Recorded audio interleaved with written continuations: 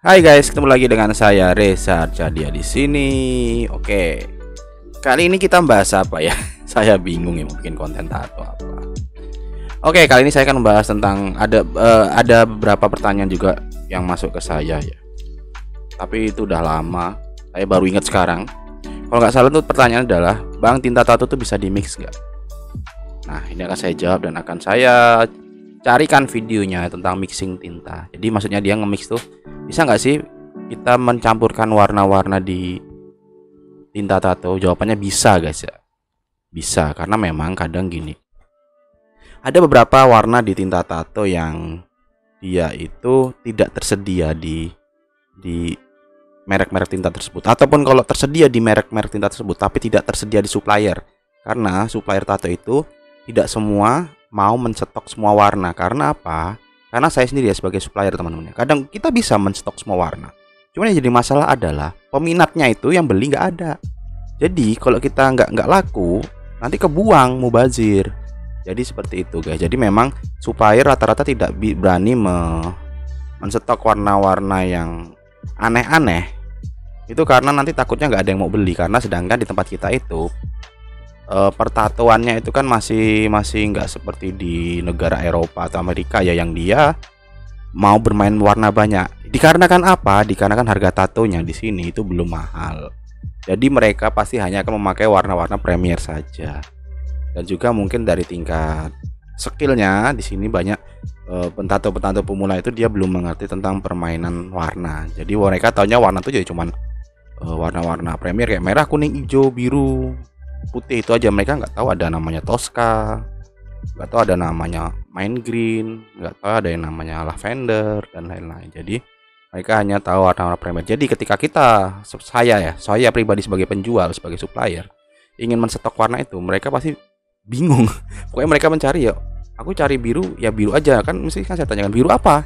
Biru itu ada banyak ada peacock blue ada uh, sky blue ada true blue ada dan lain-lain. Mereka bingung aduh yang mana? Pokoknya yang biru deh bang ya yang nyala sih gitu ya. Kan kita bingung kan. Jadi makanya itulah kenapa para supplier jarang menstok tinta warna. Karena peminatnya sedikit. Yang beli itu hanya orang-orang tertentu saja yang bisa dihitung jari. Yang jadi nggak mungkin semua supplier bisa cetok tinta. Dan kedua yaitu harga. Karena harga tato gak bisa mahal. Dan mungkin orang itu bisa ngerti tentang warna, warna tato. Tapi karena harga tato gak bisa mahal jadi dia nggak mungkin mau mencetok warna terlalu banyak. Nah Kenapa saya bahas ini? Inilah trik yang dipakai seorang seniman tato jika dia tidak bisa mempunyai banyak warna, akhirnya mereka akan mengemix mengemix tinta tato. Jadi tinta tato bisa dimix ya guys. Nah, ini saya mendapatkan beberapa video tentang bagaimana cara mengemix tato karena ini aja saya mendapatkan video aja pengambilan gambarnya susah dilihat ya guys jadi memang lebih enak ini oke kita akan mencoba meriak bukan meriak sih kita membelajar bareng-bareng uh, seperti biasa layarnya akan saya pindahkan dulu ke layar uh, utama ya. Sebentar. Oke gambar saya akan saya kecilkan mungkin ya. Ya ini saya full. Jadi ini teman-teman kalau pengen pengen lihat uh, apa namanya videonya langsung bisa ada di sini. Oke, kita langsung play aja di video pertama ini guys ya. Show you how I get my ink caps to stick to these sticks, which I then stick to the tray. Oke, kita cepetin ya guys ya. Langsung aja ke ke prosesnya. Ya, ini kenapa teman-teman? Kalau kalian tanya kenapa harus dikasih uh, stick ini itu biar nanti tingkapnya tuh stabil nggak nggak goyang nggak tumpah. Kadang kalau dikasih plastik plastik wrapping ini nanti kan dia nggak rata ya apa namanya permukaan mejanya atau ini itu nggak rata jadi dikasihlah uh, stick itu biar ditaruh di bawah ingkap biar ingkapnya tuh stabil nggak nggak nggak gerak-gerak jadi nggak nggak nggak tumpah. Jadi kadang kalau nggak dikasih stick itu tingkat resiko tinta tumpahnya tinggi Nah itu. ya kan ditaruh di sini kan sticknya. Ini kan saya rek. Nah ini kan benar kan? Banyak yang orang tuh sepele tapi dia nggak ngerti bahwa si tato sebelum dipakai itu di kocok dulu, di shake shake shake shake ya. Karena apa? Tinta tato biasanya dia akan mengendap. oke. Udah itu udah dasar ya kita cepetin lagi. Nah kita lihat dia bikin warna apa? Hijau tua hijau muda nih kan warna hijau tuh ada banyak guys tuh. Hijau merah oranye apa sih oh ini oranye ini kuning ini golden yellow apa oranye? Oranye golden yellow kuning tuh. Warna tuh tonnya banyak guys tuh. Lihat kan beda perbedaan warna itu. Dari merah eh, darah dari merah bata itu So you can see our ink has been poured out. I left a little bit of space in each one. ya kan? Warna tuh banyak. Jadi kalau teman-teman bil- eh, suka bilang merahnya yang mana? Ih, merah. Merah. Cerah. Merah terang ya. Aku bingung yang mana karena merah, merahnya banyak. Nah kadang tuh juga walaupun kita punya stok tinta banyak gini tapi ada beberapa warna yang kita tuh nggak punya guys. Jadi mah bukan nggak punya tapi ada beberapa warna yang kita tuh eh, makanya kalau kita bermain warna terutama realis itu tuh kita pasti membutuhkan banyak ton warna. Dan kita tuh suka bermain di warna-warna yang aneh yang nggak umum nggak lazim. Nah itulah mereka di mix itulah kenapa mereka di mix jadi seperti itu. Of mixing solution nah mixing solution just itu adalah pencair tinta. Kalau teman-teman tadi dengar dia memakai mixing solution. Fungsinya pencair tinta itu adalah mungkin kalau tinta terlalu kental itu ngeblendingnya agak susah guys ya. Itulah fungsinya pencair tinta ditetesin setetes dua tetes aja buat dicampurnya biar lebih enak biar lebih gampang tercampur. Kalau nggak kalau terlalu kental dia tuh agak susah dan agak agak menggumpal menggumpal menggumpal jadi nggak bisa rata. Maka shading solution itu pencair tinta. Nah mereka dia pakainya intens. terus padahal pakai air biasa sama aja. Tuh setiap setiap anu dikasih dua tetes. Tuh tuh dua. Biar dia bisa menyatu karena memang itu guys tinta itu kok terlalu kental tuh juga nggak enak terlalu cair juga nggak enak. Makanya kadang ini fungsinya ini itu adalah untuk pengontrol kental cairnya tinta. Makanya harus punya. Walaupun nggak ada ini bisa pakai pakai kita bikin sendiri. Yang pernah saya ajarkan itu cara mencairkan tinta.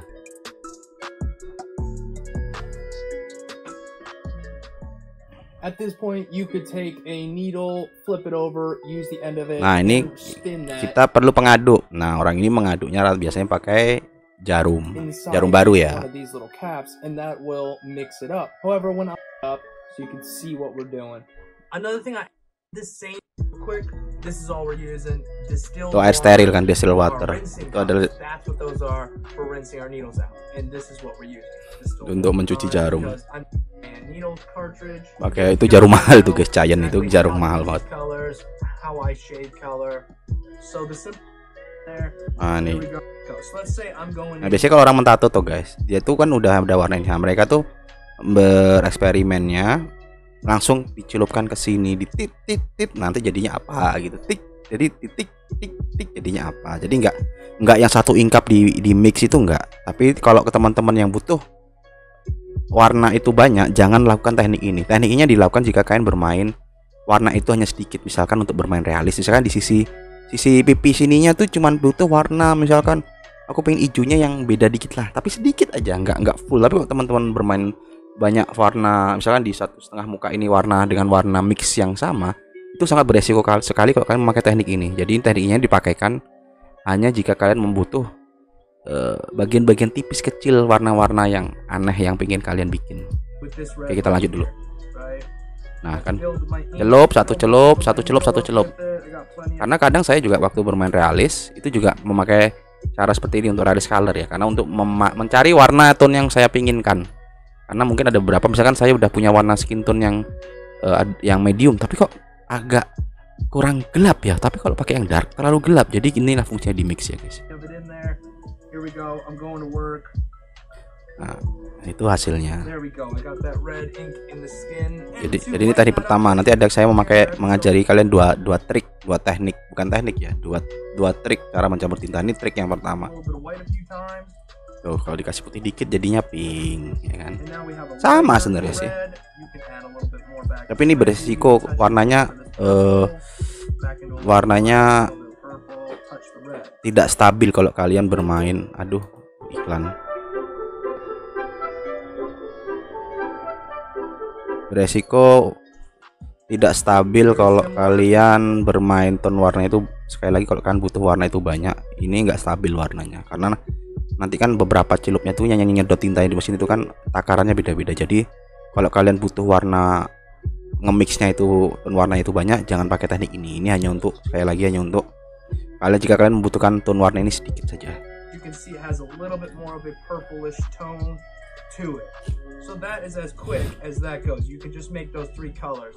And as you move along the tattoo you can see that hey i want a little bit more of a darker tone here. I want a little bit of a lighter. I want to i want to put this tuck color in there. Does it really matter if i throw some maroon itu merah dikasih cok uh, brown coklat. That light red's not going to affect it too much. It will coklat brown jadinya. so but for the most part maroon. see, that is pretty much maroon. We can ya kan? alter the colors very easily. We can take a bit merah yang light dikasih putih. kasih brown. Ini apa yo? Oh merah crimson. bagus ya. jadi begitu cara ngemis tinta ya guys ya. kalian bisa kalian bisa mencari warna apapun di dunia pertatoan dengan cara ngemis tinta all I'm doing is bouncing between a few different tones and adding some whites. That's pretty much that. That's the simplest way to do it. Stay within your reds, mix a little bit of white, use some browns. Now, if I'm moving on to another color, I will rinse my needles off. But let's say I'm still playing around in the red and I'm trying to find a certain orange color or just a lighter color. So I'm gonna keep what I have in the tube right now and I'm gonna jump into a little bit of this really warna kuning terang like like kuning yellow dikit. Dikasih merah tadi ya. Itu belum dicaci jarumnya masih ada merahnya. Tambahin lagi kuningnya kurang like karena tadi udah terlalu banyak merah tuanya. Uh, jadinya oranye kurang lagi tambahin lagi jadinya kuningnya ngedown ngedown terus turun terus terus warna itu kan tuh. Nah itulah kenapa kayak saya bilang kalau kalian butuh tone warnanya itu banyak itu tidak direkomendasikan trik ini. Karena ketika kalian mencelup-mencelup itu warnanya itu akan berubah. Tidak stabil guys. Itulah kenapa kalau kalian memakai trik ini itu hanya untuk jika ingin uh, mencari warna berbeda di bagian yang sedikit saja. Kalau tone misalkan kalian butuh warna yang banyak mending kalian langsung celupkan di tintanya nanti saya kasih di next video apa di setelah video ini akan saya cantumkan caranya mixing those colors right there in the tube. So the other thing I want to do is come over here and I will grab some straight orange. kalau dicampur dengan uh, ungu jadinya apa? Oren oren terang ya, nggak kelihatan. Jadi pokoknya itu guys ya. Oke, kita coba di video selanjutnya. Itu trik yang nah ini yang kedua, dia langsung di mix ke tintanya, tidak dicelupkan pakai jarum tadi. Oke, kita lanjut aja. Just so we can go from darkest to lightest and that's gonna be freaking fun. Kita langsung cepetin. Ini warna apa? Ini hitam. Nah, jadi orang ini hanya memiliki warna premier hitam, biru, hijau, kuning, apalagi nanti kita lihat. Nah, kalau teman kan rata-rata kan kalau baru mulai tato pasti tinta warnanya juga cuma segini ya. Tuh. Ruby red, nah, merah lah ya, merah, merah. Oke. Okay. I use Intense Ink and Electra Pro. So yes, I'm going to also leave some awesome discount code and link so, for a set of different inks. So first I'm just going to add some red and you really Nah, itu merah. Ruby red itu berarti merahnya agak merah tua ya, guys. So first I'm taking Dikit aja mungkin dia mau nge-mix yang ruby rednya itu karena mungkin merah sama biru jadi apa ungu ya. Nah, kamu Oh, satu tetes saja. Birunya Nah, dia ngaduknya pakai uh, jarum, tapi dia mengaduknya untuk mencampur tinta itu ya, bukan dicelup pakai anu tadi. And also have a cup full of sterile water. Steril water ya, air steril. Untuk mencuci jarum sama mungkin kalau pengen nyairin tintanya dikit biar nggak ngeblend. And obviously you'd wanna dispose the needle after you mix in all nah, the kan ink and grab yourself a new needle in order to tattoo your client. So let's just mix that together. Mix it. Oh, jadinya apa yo? Alrighty. Jadi coklat. So after all the mixing and blending, we're tua ya itu. going to test our purple. I'm just gonna take that in the back of my glove. Coklat ya. And bam, we got ourselves a very dark. ungu tua jadinya coklat Mungkin nanti dimudahin lagi. purple. emang gitu sih ngeblend ngeblend gitu memang agak butuh apa ya? Nah itu buat mudahin pakai putih. Makanya harus ngeblend itu memang ada kayak apa ya? Eh, purple. skillnya sendiri. dan itu asik loh sebenarnya guys. asik loh ngeblend ngeblend tinta gitu kalau kalian mempelajarinya jadi putihnya buat ink ngemudahin ya until you get the color that you like. lo masih ketua. Kelihatan kameranya masih masih ketuaan. Alright, so mudahin lagi. color, nah obviously. kadang gitu guys. Kadang kalau gagal ya udah. Jeleknya di kalau diingkap situ jeleknya kalau diingkap itu kayak gitu guys. jeleknya kayak gitu. Nah dia bikin lagi mungkin. diaduk. Diaduk. Diaduk. Biar dicuci bersih. Camera lighting really nah ini dicuci jarumnya. So colors are not showing, trust and believe that that is exactly the color it is that I'm showing in real life. biru sama apa ini? Biru tua sama biru muda.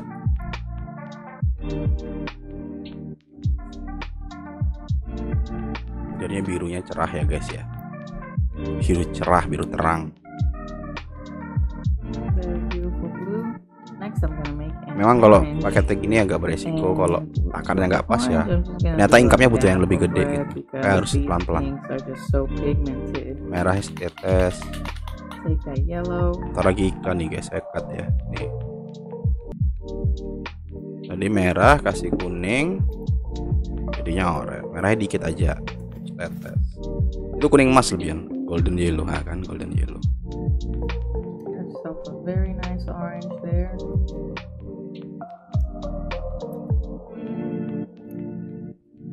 And what's really great about mixing ink is that you can literally create your own colors. So jadi if golden you- yellow your client wants this orange to be lighter, you can go back Okay. to white nextnya apa lagi and vice versa. Tadi apa ini merah sama putih a jadinya lot of that white. pink dia pengen bikin warna pink tapi merah jangan banyak-banyak dikit aja And again, the best method to do this is doing it in a bottle. tapi bersihin dulu jarumnya di mix So if you just buy those disposable tapi nggak jadi pink banget ini karena merahnya dia salahnya pakai merah tua. jadi dia butuh warna well, putih yang lebih banyak. You guys would be very pleased. I had to drop down some of that ink to show you guys that. oh jadi jadi ternyata. tapi kurang muda kayak enggak ya? Oh enggak. Pas pas pinknya pas.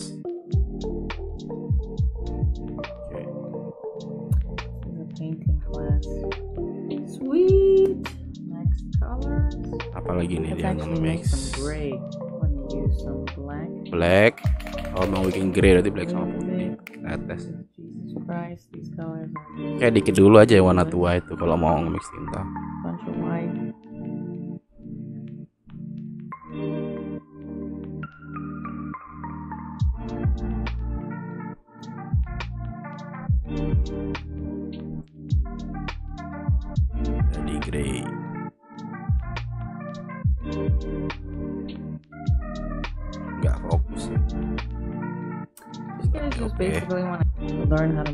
white. Putih biru sebentar bentar. And one biru ini red, biru terus kasih merah tetes biru tetes putihnya mbak jadi apa yo? Ungu ya. Oke. tapi dia ngampurnya nggak nggak rata ini ya.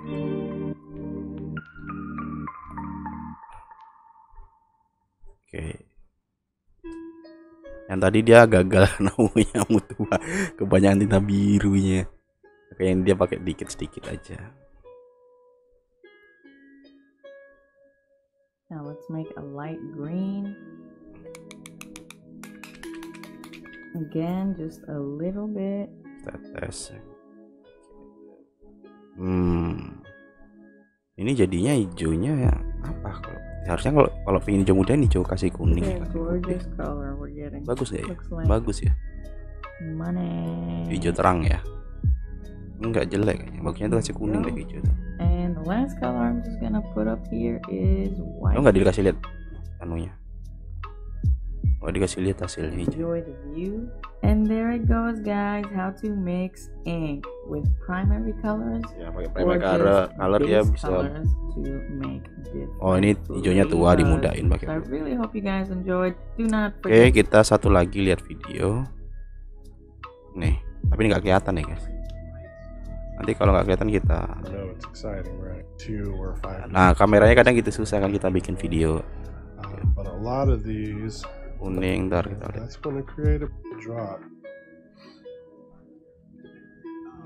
Oh dia ngemisnya tetes-tetes dia cari aman. Ya kan? Tuh. drop into those five drops of yellow. Ya kan diambil tetes-tetes. create blue into that red. Tapi intinya sama sih guys. Kali ini nggak nggak nggak enak dilihat videonya. I just like to play with the grays. Hmm, nggak enak dilihat, susah.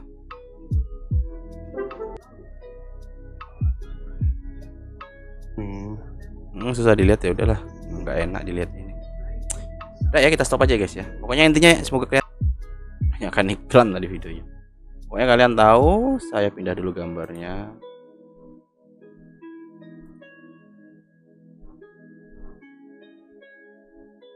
Ya, pokoknya tadi semua kalian eh, sudah tahu caranya ya bahwa tinta itu bisa dimix. Nah, untuk men- mencari warna-warna keinginan kalian, kalian juga harus belajar dan bereksperimen sendiri ya guys. Kalian harus bereksperimen sendiri, belajar sendiri untuk menemukan warna-warna yang kalian inginkan. Kalau cuma warna Premiere sih, kalian bisa sih cari di Google cara nge-mix warna. Bilang aja, eh, ketik aja kayak apa ya?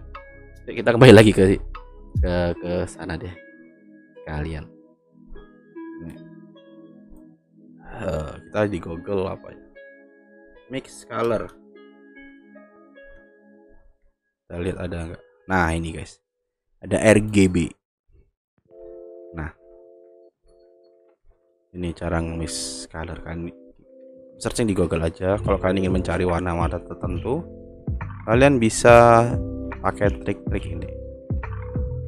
RGB. Nih, ini campur ini jadi ini, ini campur ini jadi ini, itu banyak kan? Jadi seperti itu guys ya, kalian bisa mencari dan bereksperimen sendiri. Nih kalau warna dasar. Ya. Oke ya, sudah ya. Oke, kita mulai lagi. Jadi seperti itu guys ya. Jadi tinta tato bisa di mix, kalian bisa bereksperimen, kalian bisa berimajinasi. Pokoknya sesuai keinginan kalian, tidak ada terpatok harus pakai ini ini ini. Tidak. Oke. Oke guys, saya rasa cukup untuk, untuk episode kali ini. Jangan lupa like, share, dan subscribe dukung terus channel ini agar saya bisa bersemangat lagi dalam buat konten-konten video yang berhubungan dengan tato dan semacamnya. Sampai jumpa di next episode. Dadah.